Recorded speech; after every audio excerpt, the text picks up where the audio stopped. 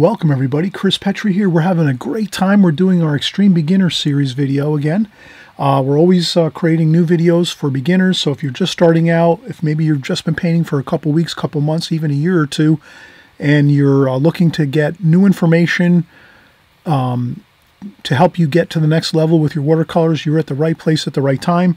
Here in this video, we're going to kind of just cover a basic um, tutorial on creating a wonderful house somewhere down in the south where the roof pitches are nice and mild and slight.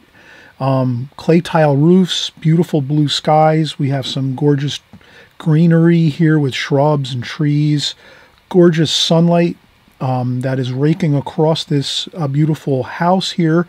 We're going to cover all the details. We're going to show you how you're going to draw this scene we're going to show you how to use maybe a ruler and some measurements to get your roof pitches perfect and also how to cover getting everything just in the right spot for you as you're going to attempt to do this uh, beautiful painting. So let's get started.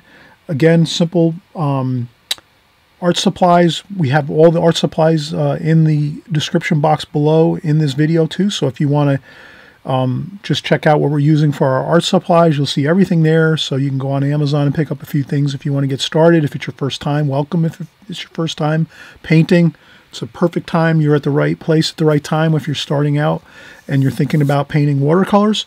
Okay, so let's uh, get started. We'll get right into it as far as the drawing, how we're going to set everything up uh, as far as our pencil sketch goes, and then we'll get right into the painting. All right, we just saw the finished painting. We're going to start to create uh, this wonderful painting here on my channel. And this is the Extreme Beginners uh, series on my uh, YouTube channel. I have um, created a what I call Extreme Beginners series videos. And these are basically if you're just starting out, you're starting out with some real simple basics with your supplies, your art supplies. You have a Prang Oval 16. You have you know, uh, simple pencil, some paper. You know, we're going to be using some more basic brushes, nothing too expensive. This way you just start out in watercolor. If you're a beginner, you don't want to be, you know, maybe spending all that much money on a lot of art supplies and things like that.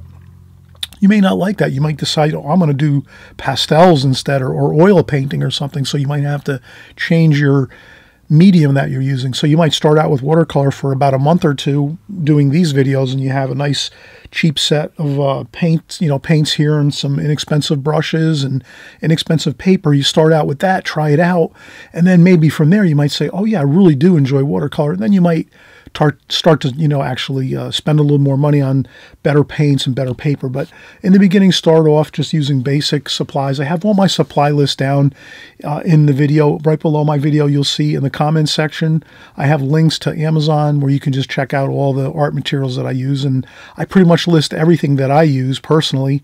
And then you can also uh, from there you can also ch- check out other uh, other items, uh, other art supplies online too as well.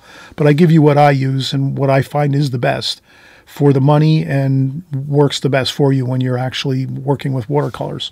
So just so I um, keep on my focus here, um, this painting, again, we're going to do a very um, soft pitched roof here. Like this might be a southern type of roof. So I meant to just kind of do a quick note, note here just on some paper this would be a soft, like a soft, mild pitch on a roof, and that would be like southern areas where there's not too much snow and ice and things like that, and storms with snow.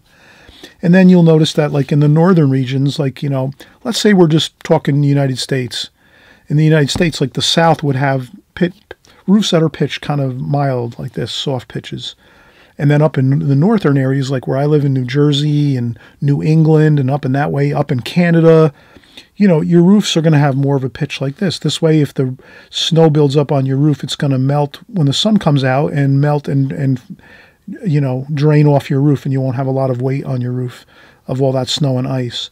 Whereas down south, you might not have that much snow, maybe only a couple inches a year or something like that. So you can, the, the roof pitches can be like this, very soft roof pitches. And then up north, where there's cooler climates and more snow, you'll have roofs pitched like this more. And that's going to be like the look of the architecture.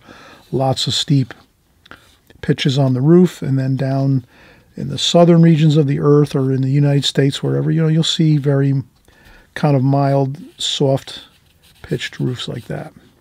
Just a little note, and then you can kind of just enjoy the beauty of the architecture of how they create uh, these wonderful homes and buildings and things like this. So again, this is going to be more of a southern style uh, house, and we're going to have fun and just kind of enjoy the shapes of everything and not really be so. Um, let's not think we're painting a house. Let's just think we're drawing and painting some beautiful shapes and, and colors. And so we'll have some trees up here like this, and they're going to kind of blend in where the roof is like that. Some trees here, and then some more trees over here that are going to kind of um, kind of envelop around the house a little bit to make it more uh, looking like it's has some really comfortable th things around it. And then we'll just keep things quite simple. I think I'll make a little bit of a, maybe a hedge here. There's some hedges over here. Let's just do some hedges. And again, you can change around your composition from what I'm doing. You don't have to do exactly like this. You try some different ideas if you like, you know, don't, don't get too bogged down with exactly what I'm doing. You know, feel free, do some different ideas of your own if you like. That's what art's about. You're going to do things your own way. It's your art. You're going to do it. You're the artist. You're going to do things your way.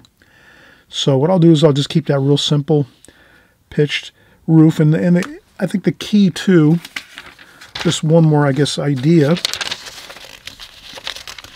is with a roof like this, you, you want to try to really make sure you can try to keep that and you can actually, for, instance, you you can trace if you if you're just starting out in watercolors too. Don't mind, don't you know? Don't be worried about it. You know, trace once in a while. Trace over some magazine clippings or um, maybe over the top of your phone or your computer. You can trace some things out if you want to. If you're having a hard time getting angles and things in the beginning, don't worry about it.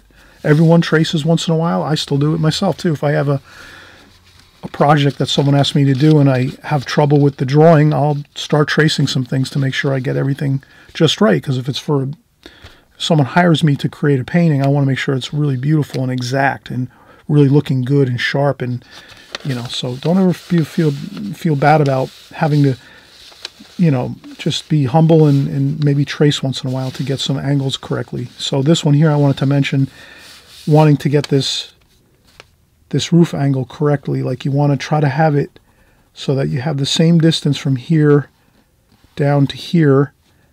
And you also want to have that same angle going up and like this. So that's kind of important. You can also use a ruler at times, or actually a ruler is fine. You could use a ruler on this to try to get a, a really excellent sh sharp angle where it's really good. You know, you can, let's, let's try it. this might be a really good way to get this angle on this roof is just you take some paper or you take your watercolor paper and you draw uh, a line across it like this very lightly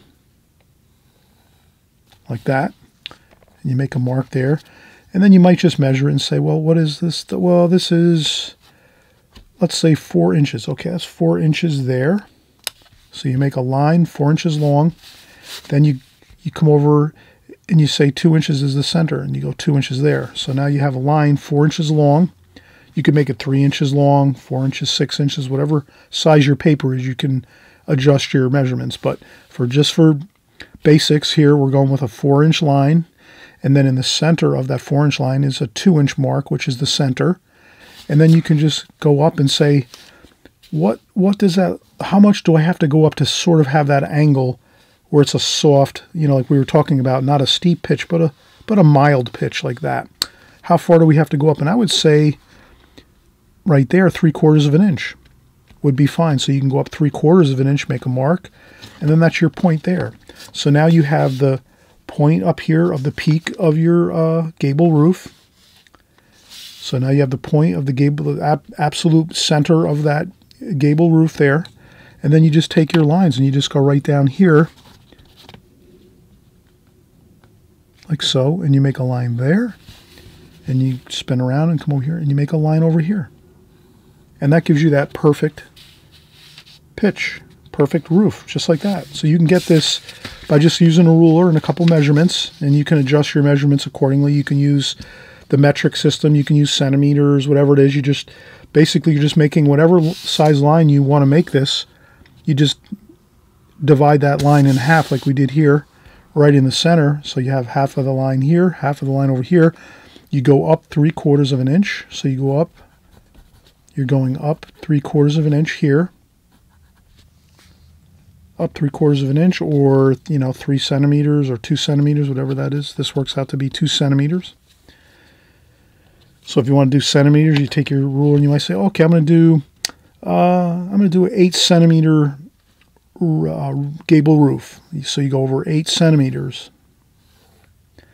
Okay, that's the width of the the building, and then you you come up two centimeters. Maybe we'll even go up just one because we made it smaller, smaller here. So that's one centimeter. Okay, so that's one centimeter up from this line up here, one centimeter. And then you just, again, spin your ruler over, connect up your lines to your dots and your hash marks, and there you have it. Look how good that looks. And you have a really beautiful, like that. And then all you have to do is just go back in with an eraser I'll use my Faber-Castell eraser. Actually, let me do it quickly by using a school pencil here, office pencil. And you just erase out off that line there, like that. So you can erase, erase that line there that you started with. And when you start with this line, you can make it really faint, basically, just so you have it there. And then you get your line up here and then you just you go over a little bit with your eaves of your roof so you have a little bit of like that. I hope that makes sense. I hope that helps you when you do some of your roofing angles. You can use a ruler throughout this whole uh, drawing now maybe we'll do that. Maybe we'll continue working with our ruler here. So let's do that. I'll take this next roof over here. We're going to do this one's a little more simple. We're just going to do um, pretty much a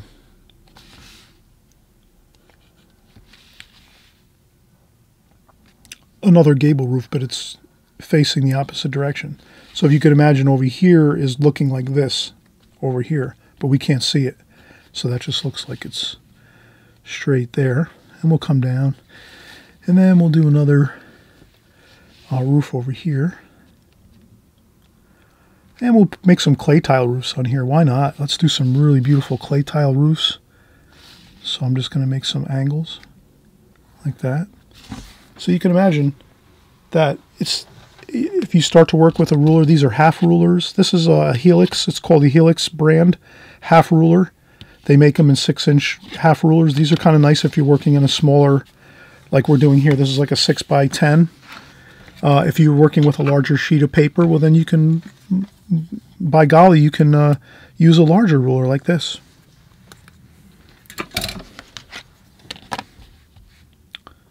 and then we'll put another line here. And then what we'll do is we'll make another roof over here. One more roof over here. Like this. Like that. And this one lines up with this roof too. Okay, and that's pretty much it. And we'll just put a line down here like this. And that's our build. That's our house. This is our beautiful home here. Nice southern style home. Clay tile roofs. We're going to make these roofs orange. And again, um, we're going to have fun with this. We're not going to get too caught up with every detail again, like we were saying. Um, we'll put a chimney over here. Like that. We'll put a chimney over there. That's maybe on the other side. And then over here we'll have a little flue pipe there on the chimney. Maybe a little cap on there too. All right, and then we'll have some more. Let's do another, maybe we'll do a nice beautiful bush over here, a shrub, like that. And then maybe what we'll do is we'll think outside the box here and we'll say, let's let the viewer sort of see through our painting a little bit. So what we'll, what we'll do is we'll just erase this line a little bit over here with a kneaded eraser. I'm using my uh, Faber-Castell kneaded erasers. These work phen phenomenal. No crumbs, so when you do your erasing, you have no crumbs anywhere on your paper. And um, I'll make this bush like this, and then I'll sort of leave space there. So we'll, we'll be able to see through to the other side of the building over there. So that's what I wanted to do is sort of have a bit of area where we can kind of and we're going to have some more shrubs over here. Look how good those shrubs look. Over here, those are kind of more in the front there. Maybe we can bring this down a little bit. Maybe these shrubs are a little lower. Maybe we want to we want to keep those shrubs all the same height. So these might be some taller shrubs here. I'll make this lower. Again, adjust your adjust your um, adjust your drawing as you have to. And then we'll just put a beautiful arched doorway here. Like that.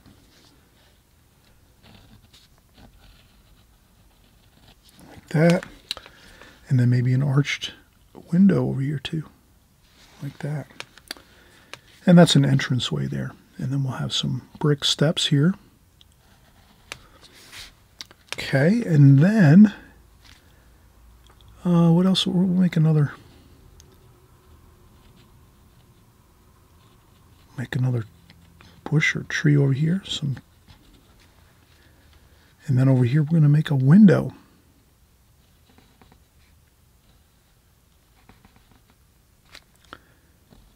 Okay, a window there, and then an awning over the top of that window.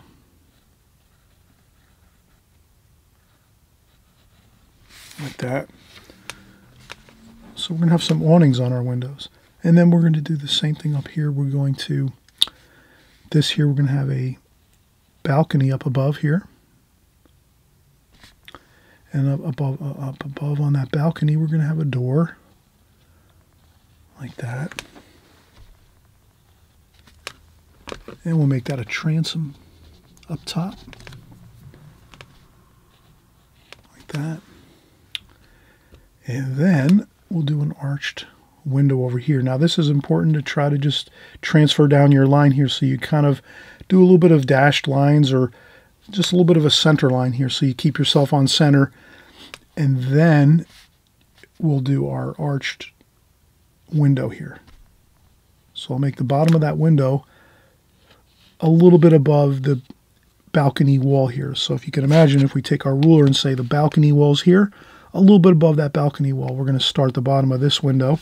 And again, you can just adjust your, uh, nothing is real critical. You don't have to worry about getting anything exact. I'm just sort of having a good time here, enjoying myself. We're all enjoying this drawing together. And let's continue on. Here, let's make another uh, window over here behind this shrub over here. So these hedges, we're making some more gorgeous windows. And then we're going to have, again, that awning like this. We'll have an awning there. And what else? I think we have everything pretty good. There might be a little shrub over here. And there's a planter there in front of the window. And then there's some shadows. We're going to have some interesting shadows. So I'll put in my shadow lines now. My shadow lines are going to go here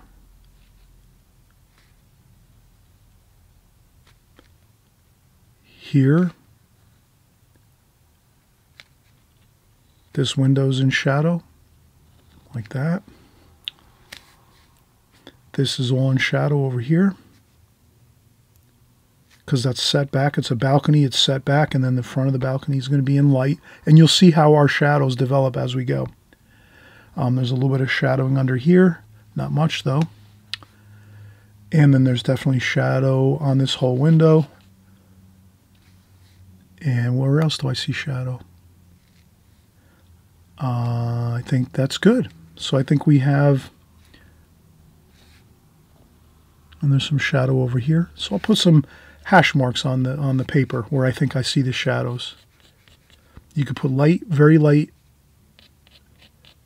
hash marks on your paper where you're going to be making things darker.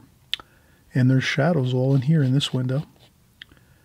And there's shadows here in this window too. It's all dark. And then uh, where else do we have some shadows? Uh, I think that's pretty good. I think that's pretty much most of the shadow, and we'll paint it. And when we're painting it, you'll see how the shadow shadows will develop as we go, and we'll have a fun time doing it.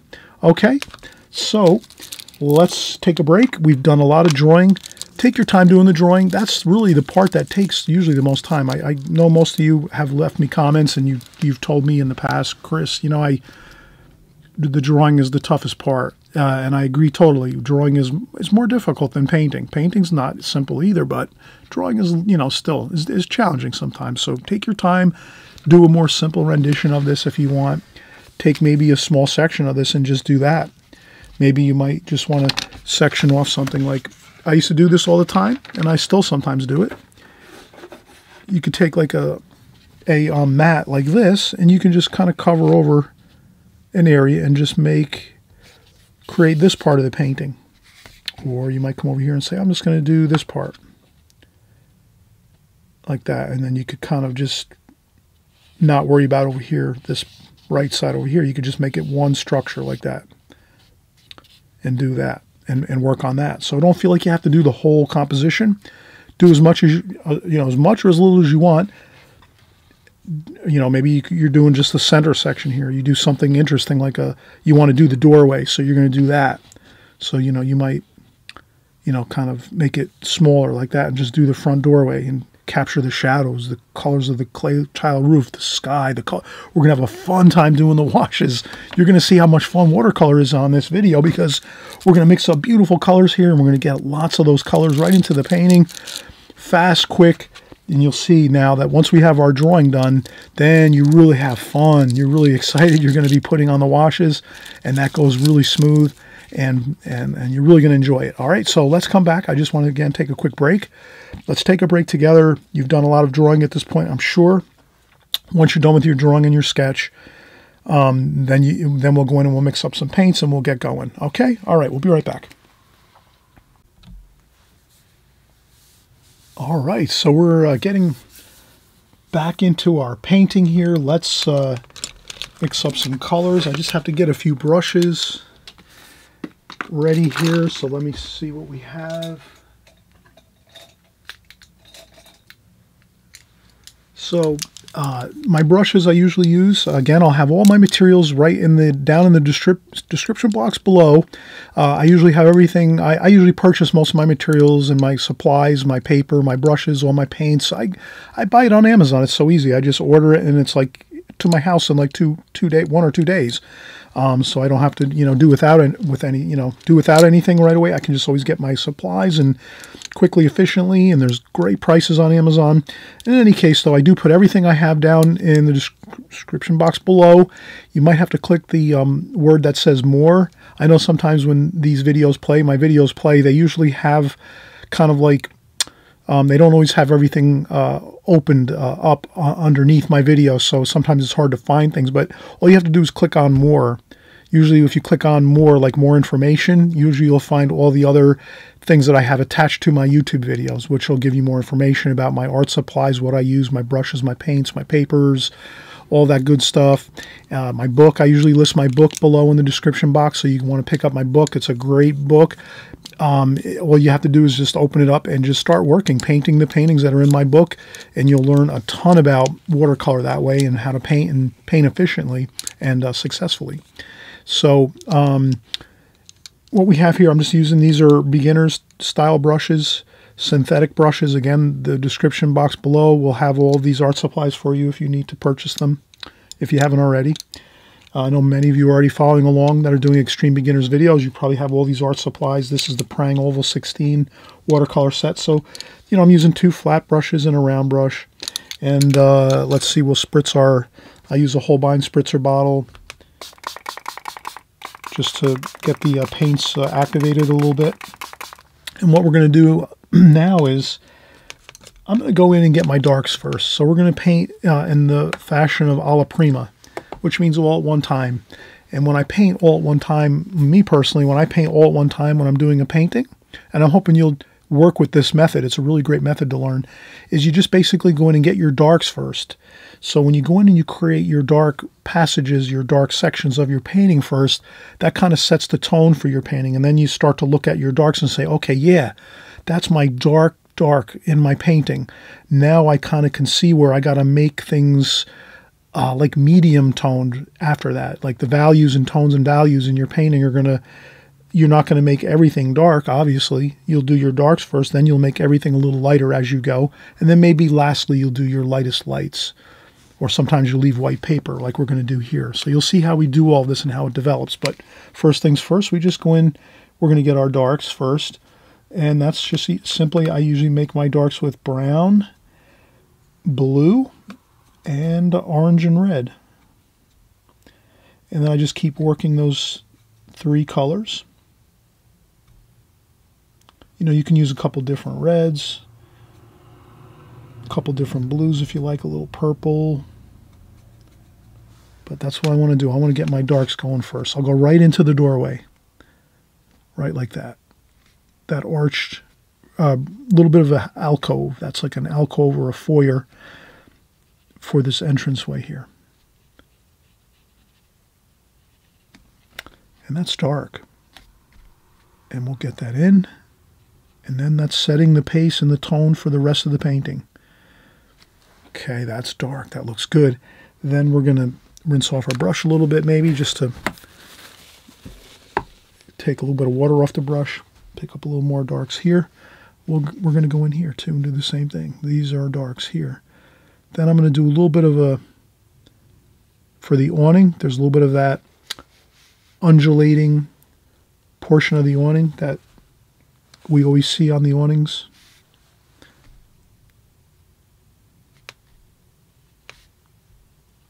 And there we go. I'm just going to get the darks in there.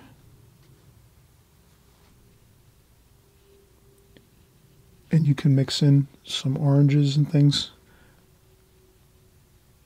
into the colors.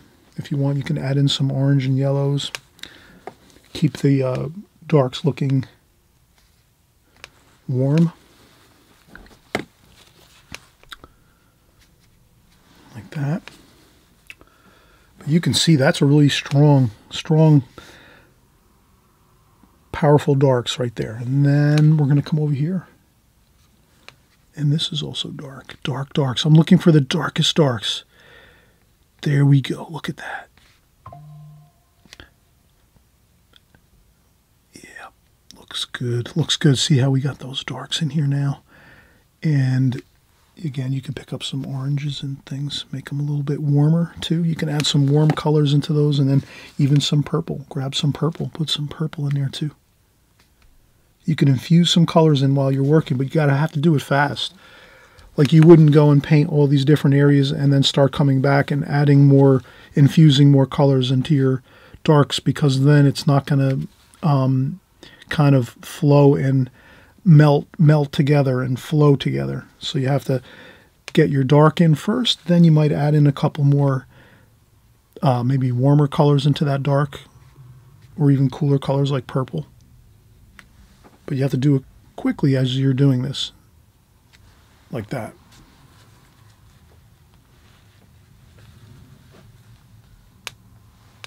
And then here we're going to do this small arched window like that. And then up here too, we have another window, not quite as dark. These two windows up here are not quite as dark as over here on the bottom portion of the painting.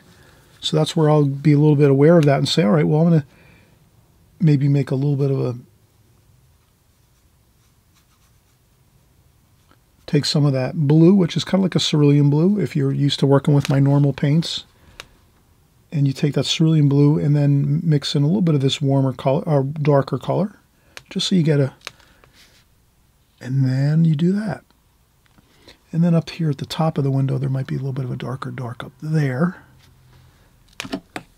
But then as it comes down here, I add a little more of a damp brush. So I rinse off my brush, dry off a little bit of the water, and then come in and just add a little bit of that water, damp brush, damp brush, into that window area like that.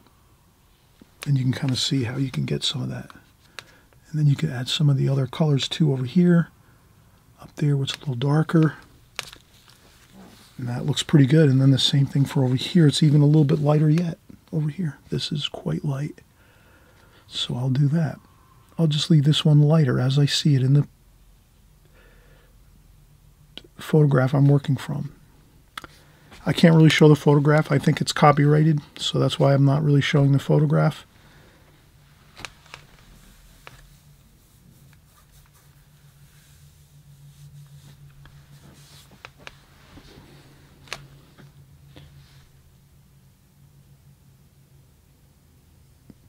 Okay.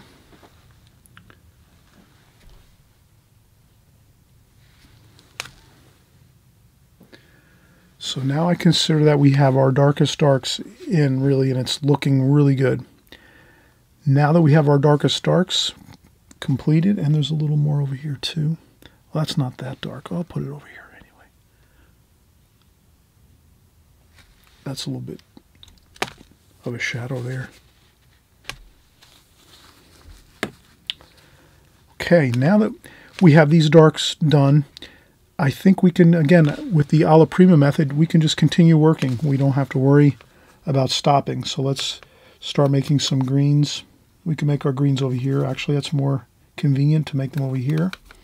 So I'll take my greens and make one green there. That lighter green, darker, like a more uh, cooler green over here. What else are we going to have for those greens? Maybe a little yellow too up here, maybe a little bit of a warmer green up there with some yellow like this, like that.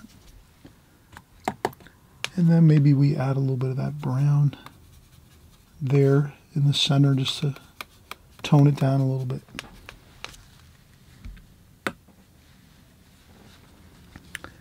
Now at this point, I think I want to use a the flat brush here, like so. I, I might even go with this larger. So this is fun about the flat brush is you can cover a lot of area quickly. So let's do that. Let's cover a lot of area quickly with our large flat brush. And I think what I'll do too is um, I'm going to do some blue wash for the sky.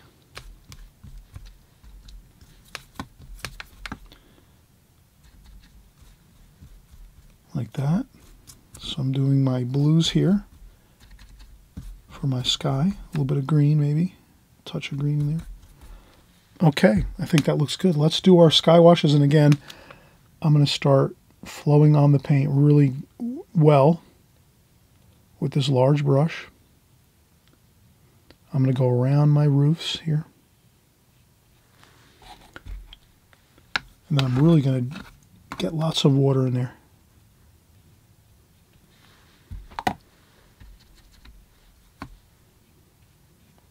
and I'll try to change around the colors.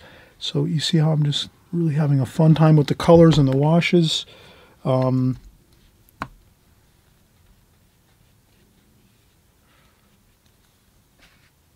and then I'm going to paint around the chimney here and the roof here. And when you first start out, it's gonna you're gonna be going a little slower. I work a lot with the uh, flat brush, so I kind of feel very comfortable with it and, you, and it's really great because it's for architecture. It's great, like houses and buildings, like city scenes, architecture, homes, things like that. If you use the flat brush, it really you can zip a really quick around things. You can kind of see how I'm doing that, and then I'll I'll kind of blend in to the shrubs and the trees and things like that. A little bit like this. I'll just kind of tie into those like that. And we'll get some greens next. Let's get some greens. Let's use the greens we already mixed.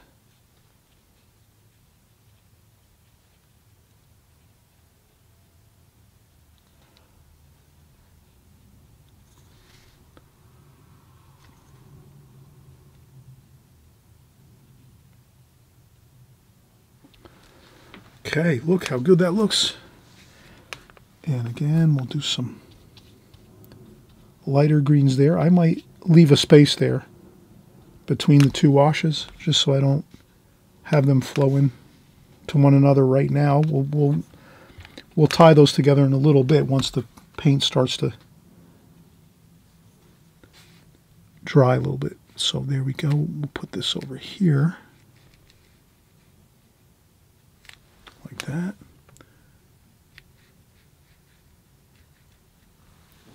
Okay. Then we'll do a little more lighter wash like this for the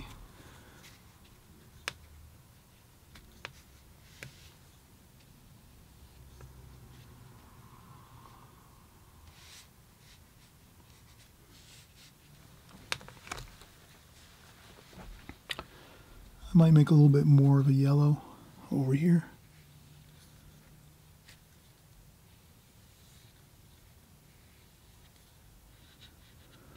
Hope everyone is having a good time with this. This is really fun. Using the flat brush is great. You can really cover a lot of ground, like I was saying before, and you you get that really beautiful wet washes uh, going on the paper, and I think we will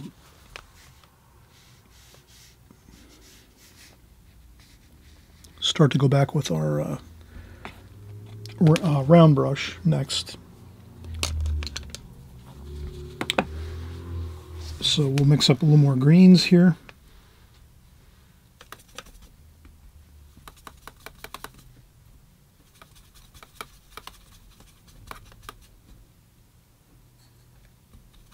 Okay, a little more greens over here.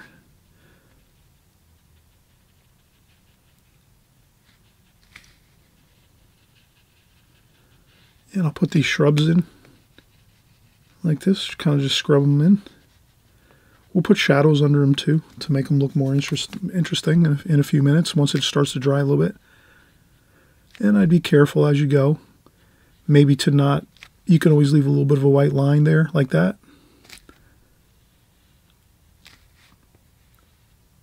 You can leave a white line of paper there so that this doesn't flow into the grass area here that you just created. So you can always leave a little bit of a line, a buffer line, until the paints start to dry a little more, and then you have a little more time to, you know, let things dry, and this way things don't just keep flowing in from one thing to the next. But that looks pretty good. And then a little bit of a lighter green on top here, where the sun is catching the tops of these shrubs over here. So that's always kind of nice to capture that and a few branches and things.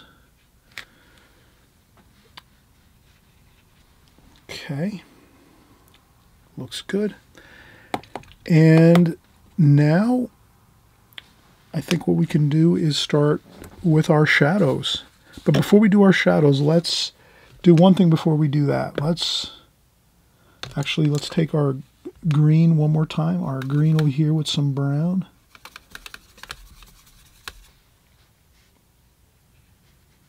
Maybe we make a little bit of a darker, shadowy kind of green with a little bit of brown in it.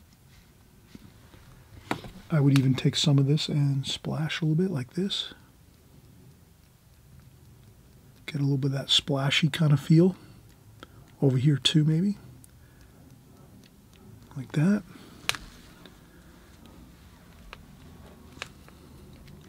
A little bit of that darker green under here maybe. So I guess we try to get some of the darker greens underneath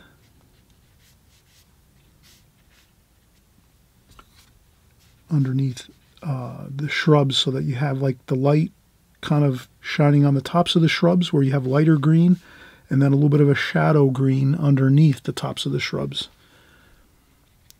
Uh, does that make sense? So you want to have dark underneath where the light is hitting. So the light hits the tops of the shrubs and trees, brighter green, brighter green, brighter green, and then where the bottoms of the shrubs are and trees, a little bit of a darker color. And then what we'll do is we'll actually infuse in right now Let's make a shadow color. Let's go in with some purple, like this, some purple, brown,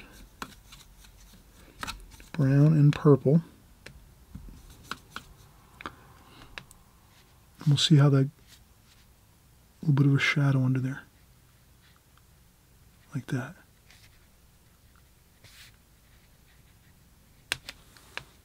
That looks pretty good.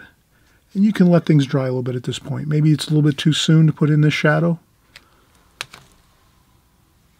So if that's the case, let it dry a little more. But I think that looks pretty good.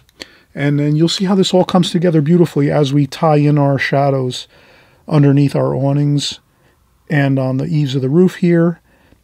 And we'll put in some of that beautiful clay tile roofing, which is the orange.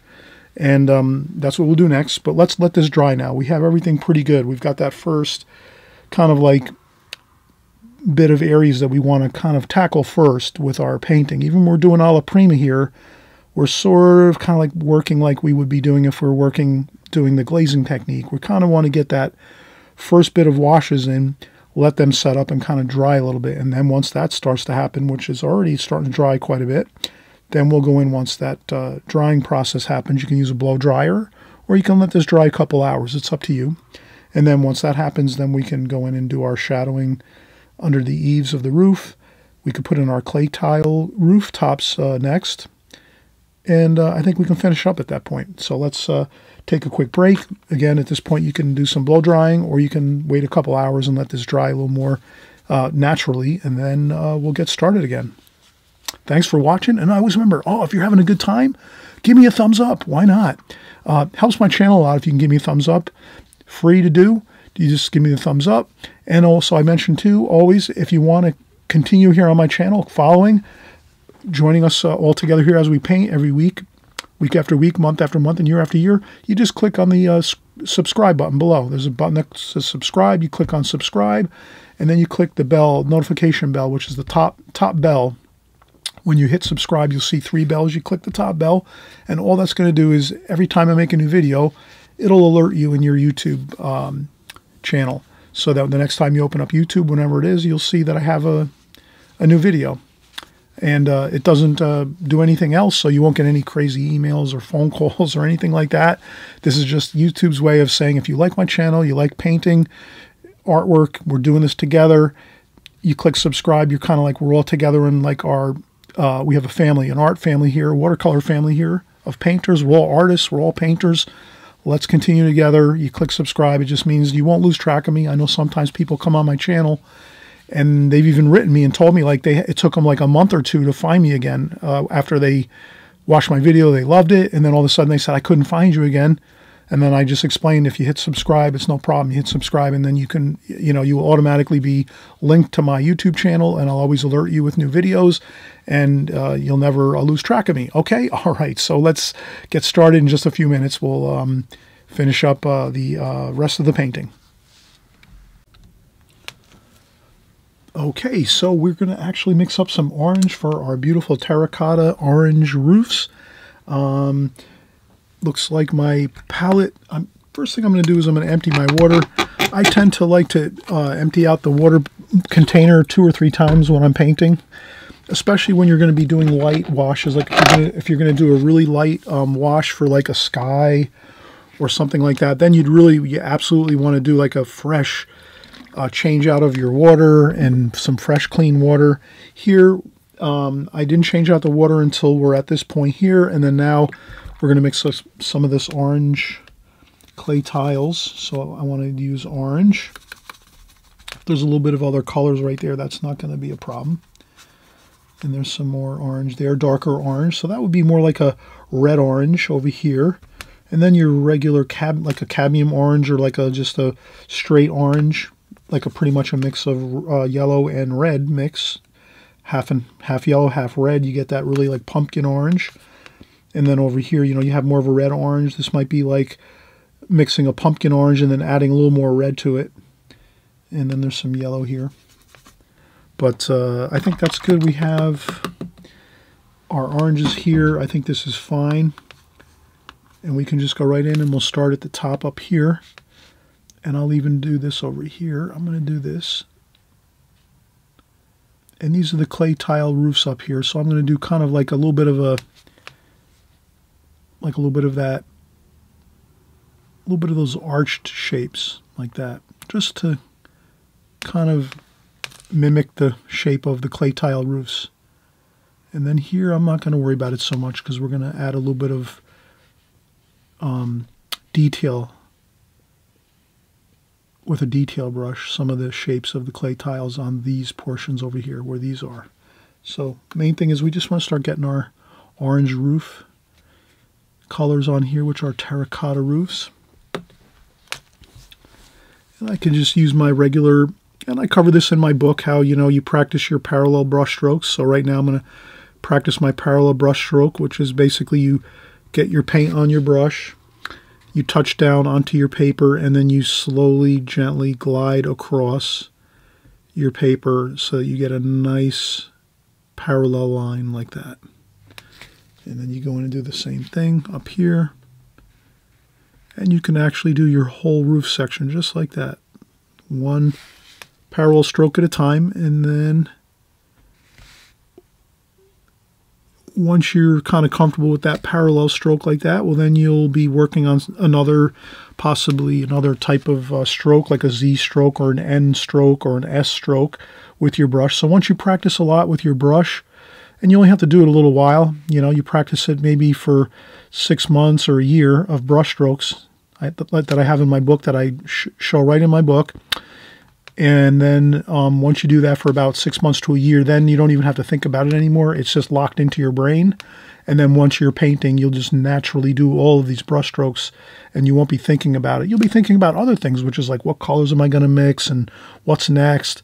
So that's the thing with watercolor. The more you kind of practice on some of the really good basic fundamentals of watercolor, it frees you up to do other things. Same thing as if you're driving a car once or, or riding a bicycle. Once you learn how to pedal and steer your bicycle, or if you're in a car, once you learn how to use the gas pedal, the brake, the steering, once you have that all down and you're doing that after a couple of years, you're not thinking about that anymore. Then you're able to like watch the traffic, watch, make sure you're not, there's people around, be safe, all these different kind of things. So that's what's good about practicing the fundamentals. You kind of, once you do that, then it's locked into your mind and you don't worry about it anymore and it just comes naturally. And then you're thinking about other things that are, let's say, more important.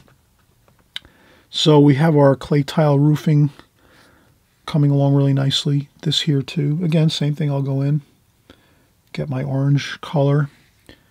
Then I'll take my brush and gently tap, touch down and come across like that. And there we have it. And I believe that is it for our clay tiles. Yeah, I think that's it. We might have a little bit of clay up here for our chimney flue. There we go. Do that. And I think that's looking fantastic. All right, so now that we're working on this, I think we can even start going into the shadows right away. Um, so let's mix our shadow color. Shadow colors are going to be um, I would say we can use this blue here that we have, which is like a medium, not too dark blue, not too much purple in there. We can use some of the purple in here too, maybe to mix in there. And I also see some, you know, warmer colors too, like greens and yellows. And even some oranges. So we can take these yellows and oranges and mix them in with our cooler shadows, which are our, blue colors and even a little bit of purple too. Let's see how it goes, but I think we're going to have a lot of fun doing this. And again, the shadows are really fun because then you start to see everything all tied together looking really good. So we'll start up here at the top and we'll do the shadows up here. And I'll go right over the window with it too. And that shadow, we drew the pencil line of where the shadow is. So, and then a little bit of orange, and a little bit of yellow and green too.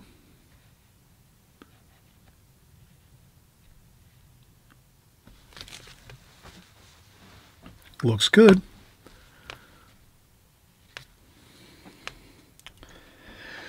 Same thing. Let's. Uh, where else do we see shadows? I see them over here, over the tops of this uh, doorway here. So let's go in the same thing. We'll get that blue I forgot to add a little bit of purple in there. Maybe up top is a little more of that purple. And then over here, same thing. Let's a little bit of that blue. It's a medium tone. It's almost like the sky tone, almost the same as the sky color. You know, as far as the dark and light of it, the tonal value of this shadow and this shadow and the rest of the shadows we're going to do, it's kind of similar to the sky tonal value. That same, not too dark, not too light, kind of that medium. So that's there, and then a little bit of the green, a little bit of the orange. Then I take it, dry off the brush with a tissue, rinse off the brush, dry off the brush a little bit with the tissue, and then blend those colors around a little bit.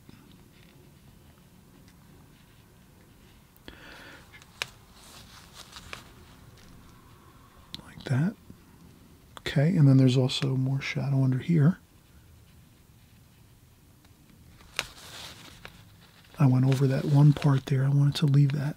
We'll use some white paint too. If you if you go over a few um, areas, you can always cut. We'll touch up with some white paint. You'll see in a little while. We'll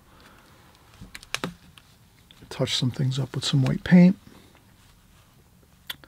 And then we're going to go back in again. Same thing. Oranges and green, uh, blues and greens over here.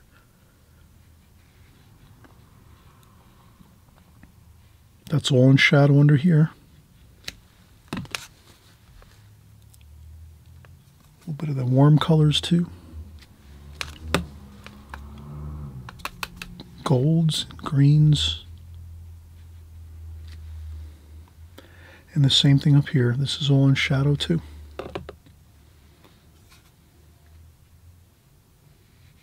And you can always remember that if you have to, if your shadows aren't dark enough, and I went around the awning, because this is a white awning here. These are white awnings here. I go around those. The shadow doesn't quite catch those.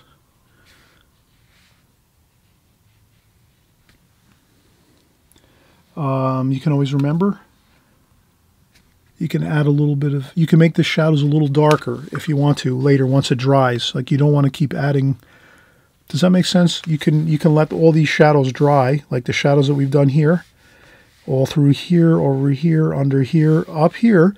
You can let, if they're not dark enough when you first do it, that's okay. You can go over with another wash once it dries 100%. You could take the blow dryer, dry it off again, and then add just a little more paint to it to make it darker if you don't think it looks dark enough.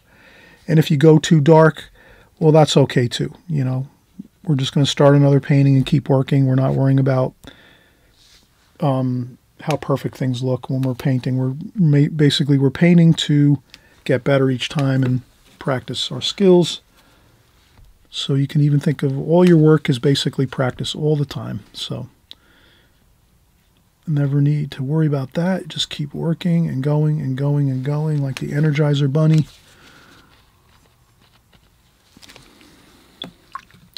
So there we have it. We have some really good shadows. This bush is putting a shadow over here on this wall, like that.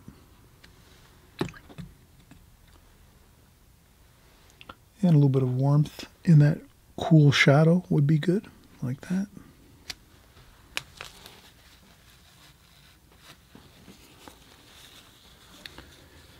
Then I might take some per, uh, blue and purple.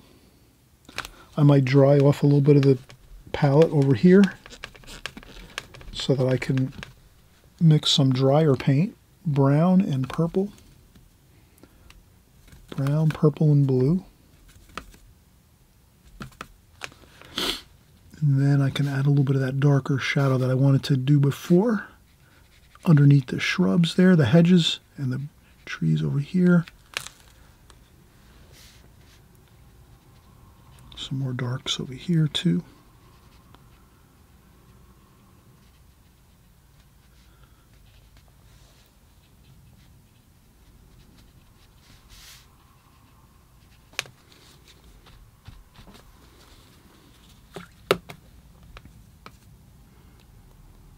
Couple splashes. I never worry about that. Okay. And then some more clay steps here.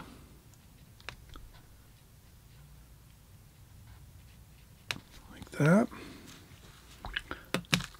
There's some green shrubs over here.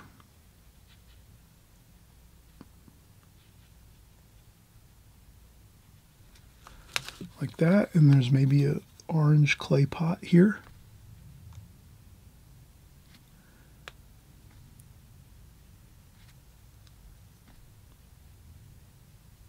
Like that.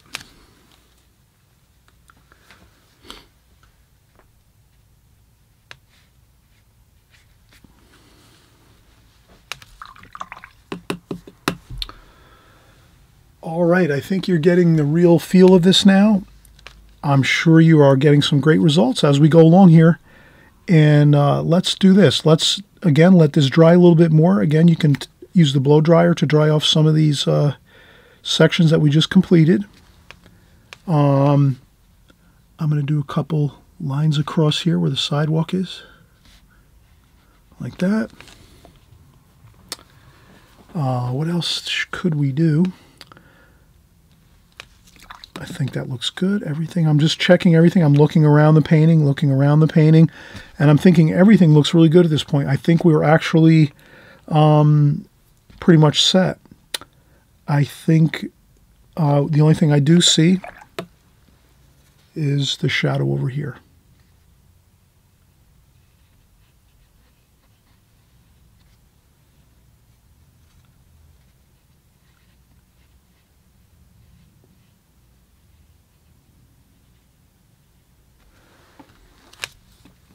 There is some shadow over there from these trees on the facade of this building. And also, um, there's some shadows from the awning over here, right here. A little bit of yellow, maybe, too. A little bit of yellow in there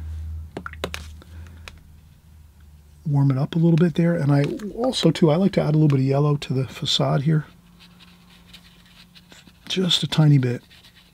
Kind of really makes it look like it's a hot sunny day with some really bright sunlight on the uh, facade over here. A little bit of orange, too.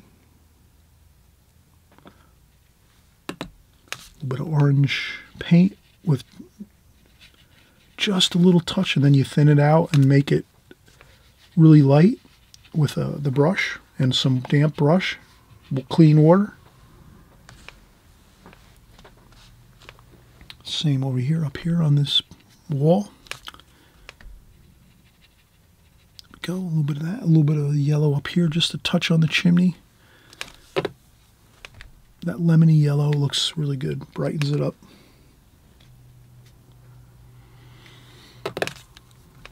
Same thing here with the awnings, a little bit of that yellow on the awnings. All right, I think we really are in great shape right now. The last thing we have to do is we'll come back, we'll use some titanium white. So I'm going to show you how to use some titanium white with your round brush that we have right here. So we're going to use this white to do some touch-ups to kind of recapture some areas that we painted over. So sometimes when you're painting, and you're trying to leave white paper and you paint over your white paper, you don't worry about it. You leave it, say, you know, you just chalk it up as you, oh, not a problem. You went over into your white awning here, or oh my gosh, you went over some of your wall on your house with some blue paint from your sky. No big deal. That is not a worry at all. Once you're done at the very, very end of your painting, when everything's 100% complete, and you finish out your whole painting. You don't worry about if a few spots got a little bit out of control or you had an issue or this or that. Always finish out your paintings. Don't worry about it unless it's so bad, then you just throw it to the side and pick up another sheet of paper the next day or the next day or two and you start another one. But if you have a painting and it's going pretty good and then there's a couple trouble spots on there, don't worry about it. Leave them alone and just keep going and keep working on the techniques and the methods that we're doing. And then at the very end of the painting, when everything's all good and everything's 100% dry, then we're going to come back and I'll show you how you can fix up a couple spots with your titanium white paint and that'll be it. We'll have everything all set here looking gorgeous. Okay? All right, we'll be right back.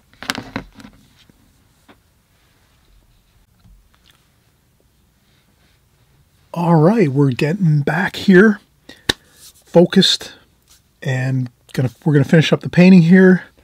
And uh, ooh, ooh, ooh, I wanted to mention before I do the titanium white final details, I did notice that I had to finish one thing. Let's not forget to do this. We're gonna get a little bit of the dark.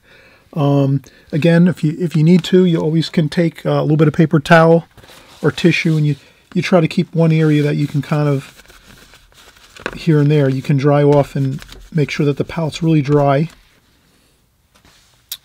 so that you can get some straight paint here like this. The blue, brown, blue, brown, and maybe some purple. Blue, brown, and purple with a little bit of orange too, a little bit of red in there. Just like a nice good dark with some warmth in it too, with some red. And then we, what we want to do is do some clay tile looking or uh, arched shapes, which are just like little little bits of round little like this, like upside down smiley faces, basically.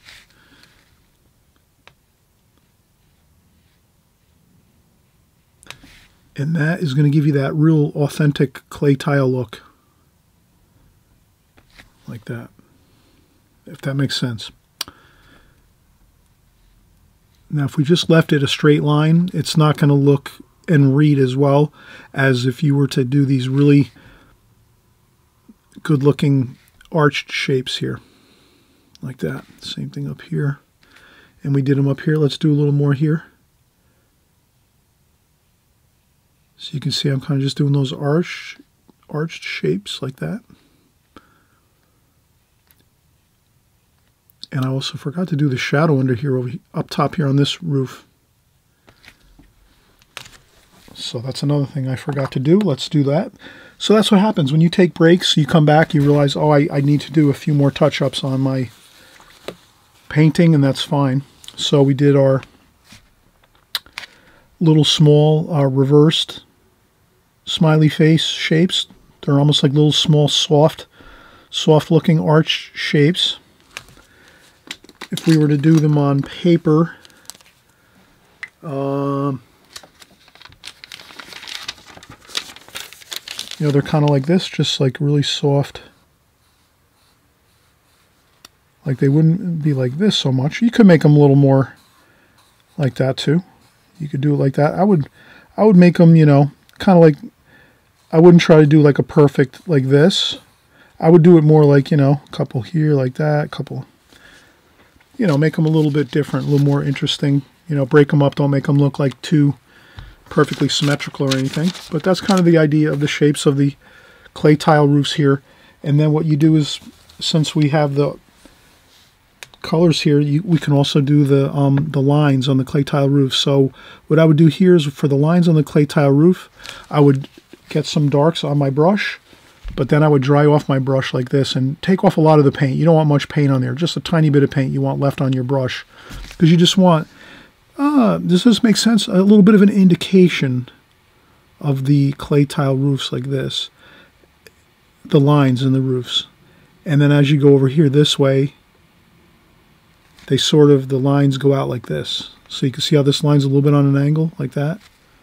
We do this again, take some paint on there, dry off some of that paint on a paper towel or tissue, and then just get some uh,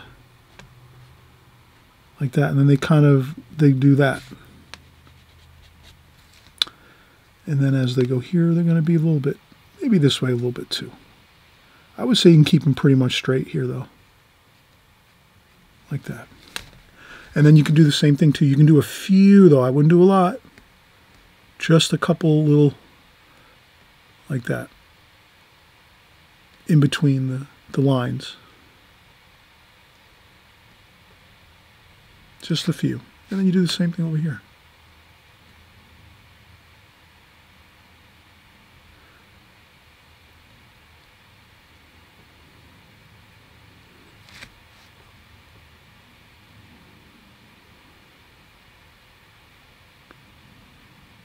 So I'm hoping this is really going to build up some of your uh, fundamental skills with doing some interesting architecture, roofs, clay tile roofs, buildings, roof gables, you know, angles of roof, pitches. I'm hoping this will help you to kind of just have a little bit of more fun with uh, doing, creating architecture, homes, buildings, things like that, seascape, uh, street scenes, stuff like that. So I think that looks pretty good. It, you can kind of see how that looks much more uh, interesting like that than just leaving it just like an orange wash with nothing on it. so that looks really good. Gives it more interesting detail, but not too much. So you can see I didn't fuss around with it too much. I kind of went quickly just to get some of those indications of some of the arch shapes of the clay tiles. You can look up clay tiles uh, on the internet and you'll see what they look like really like detailed like as if you're going to buy them to put them on your roof. You could do some research on clay tiles and you'll see what they look like. Um, some of you are familiar with them already. You might have some on your house actually. Um, but in any case, that's really all I wanted to do with a little bit of the detail of the roofs as, as we see them. Now we'll get into the titanium white to get our final little bits of uh, highlights and touch-ups.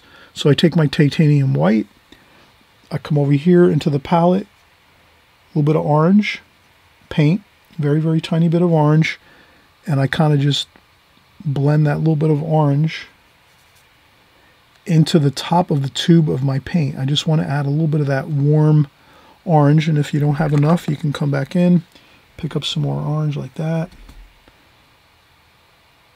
and you get it into the paint. The top tube, you know, the top of the tube of the paint like that, and you mix it around a little bit. Then you come back in, you grab the tissue, dry off the brush, and then you come back over here to the tube, and then you just want to grab a little bit of that paint that you've mixed up with a little bit of that orange in there, just so it's not stark white. And then we set over here, I, I kind of, you can kind of see that. Let me zoom in a little bit.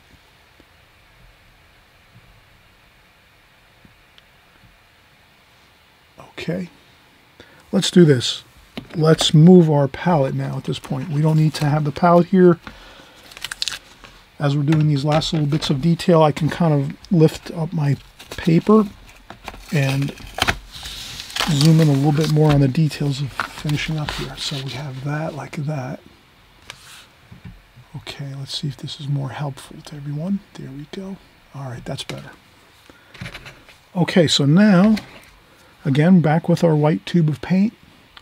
Titanium white with a touch of orange in there, not too much, just enough to make it look a little bit more warmer and not stark white. And then we add some of that white there. And over here, I notice I went over the building here a little bit. So I can touch up that corner of the building here with that white paint. Looks good. I also went over by accident, didn't do it on purpose. I went over this little bit of, it's like a little bit of a shelf where this window is, where there's a little potted plant on there. I don't have the potted plant on there, but I went over the actual shelf of this window there. Opening, I should say it's an opening going through into the foyer area of this section of the front entry of the house. And then, uh, did I do anything else that I needed to? I think that looks pretty good. Maybe a little bit of a highlight on top of the chimney there. And uh, what else? Oh yeah, over here on the awning, I see that I went over the awning with a little bit of that green shadow color.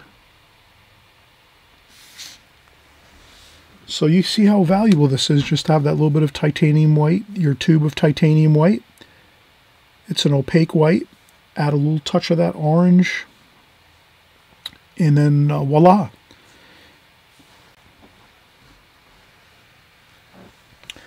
You can get those little bits of whites that you might have painted over.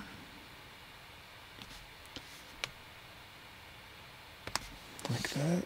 That's helpful to have that option to be able to anything else can I think of?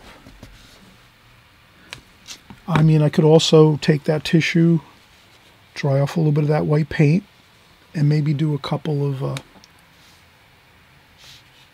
here. I could do a couple, like a little bit of a window, uh, frames on the windows. You could also do that. If you wanted to, just a few.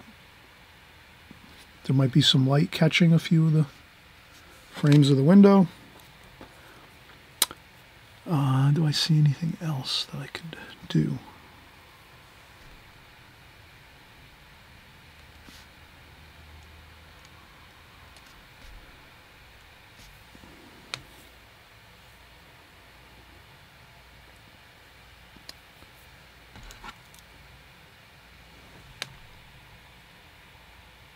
Okay.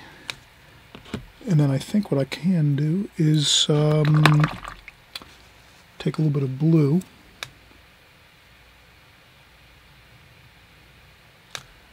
So I take a little bit of uh, blue over in my palette. So I just want to go over and get a little bit of blue on my palette like that. And then I dry it off a little bit with a tissue. Not too much on there. And then I could go underneath here like that. That might look okay. Trying to get that kind of feel of the sky, the sky behind the chimney because I have the highlight on the chimney cap. Then I can see that little bit of blue, and then there's the, the chimney flue. So um, just a little bit of a very, very fine detail, but it, it can sometimes enhance things and make things look pretty good. And uh, but I think that we've actually accomplished everything we wanted to. I'm hoping um, that everyone will enjoy the painting process more and more as you paint. And again, if this is uh, your first painting, uh, thank you so much for coming by on my channel and uh, joining us. I think we really had a fun time. I'm going to do a few more, maybe, maybe the light's just catching a few bits of highlights on the windows over here.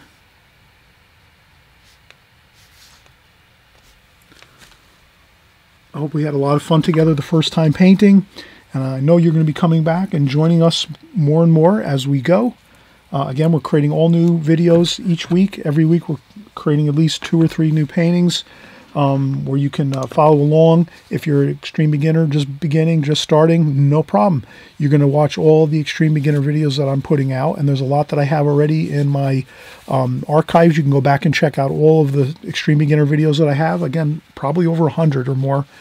Uh, over the last couple years, and as well, you can you can jump right in and start working on the other videos that we're always doing on a constant basis, which is more of a um, professional level um, painting tutorial that we that we do on a constant basis. So don't be afraid to go in and learn there. At least watch the videos. You're going to learn a whole bunch of new information. That's always good. And then secondly, you you might want to practice small parts of those uh, videos too, or even tackle the whole thing if you want. You know, you might have some extra time. You want to keep working along. Work with all of the videos if you can. It's just more practice, and you'll get better and better as you go. So again, thank you so much for coming by. It's absolutely great to work with all of you. Um, it's been great over the years now being on YouTube. So appreciate everyone's uh, support, everyone's encouragement. Thank you so much for all the kind comments. Uh, continually in the in the comment section, I know many of you that have been with me for years. I'm really happy that we're painting together and having a fun time, or even some of you are just watching for fun and you're not really painters, but you just enjoy watching the videos for uh, the um, fun of it. So I'm glad everyone is here, and we'll see you soon, okay? See you on the next video very, very soon. Bye-bye.